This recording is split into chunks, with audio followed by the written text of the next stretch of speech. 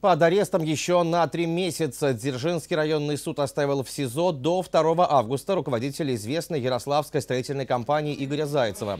Ходатайство Фемиди о продлении меры пресечения заявило следствие. Зайцева инкриминирует мошенничество в особо крупном размере.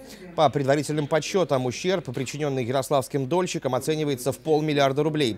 Речь идет о недостроенных домах в Брагино, это 12-й микрорайон, и Фрунзенский район, поселок Сокол. Кроме того, стало известно, что по решению суда следственные органы обязаны вернуть родственникам Игоря Зайцева подавляющее большинство арестованного имущества. Это пять земельных участков, три иномарки и квартира в Подмосковье.